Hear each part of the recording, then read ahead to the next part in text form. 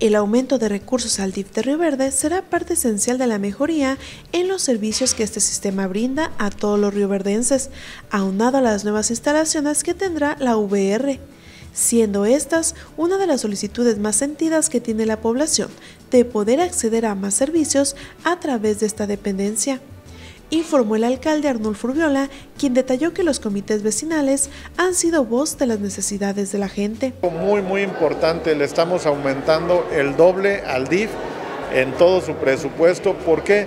Porque eso es lo que me ha dicho la gente en todos los sábados que he dado la atención en todos los comités vecinales hemos visto la necesidad de los rioverdenses que se enfoca mucho al, apoyo del DIF. Entonces, para que el DIF pueda responder favorablemente necesita más recursos y es por hoy que somos el primer municipio que le aumenta el doble al DIF municipal.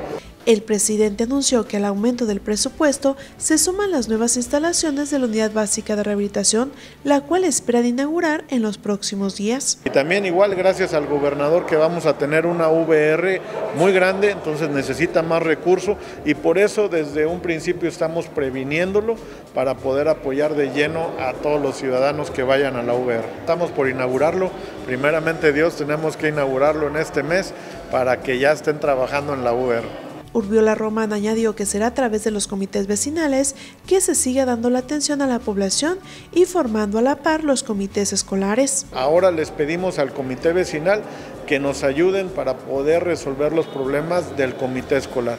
Queremos las mejores escuelas de la zona media y tenemos que hacerlos unidos para apoyar a los maestros, a los directores, que tengamos las mejores escuelas. Nosotros tenemos un compromiso con las escuelas donde vamos a resolver las peticiones que nos hicieron el día de hoy y de igual manera les pedimos que nos abran sus puertas para que entre Promupa, para que entre DIF, con todos los programas también escolares y de prevención para todos los chamacos rioverdenses. Finalmente informó que en los próximos días continuarán con la inauguración de obras que recientemente fueron concluidas como pavimentaciones y drenajes sanitarios para comenzar con las obras para el 2023, este año enfocado como el año de las escuelas. Para Noticieros Cable RB, Ana Ramos.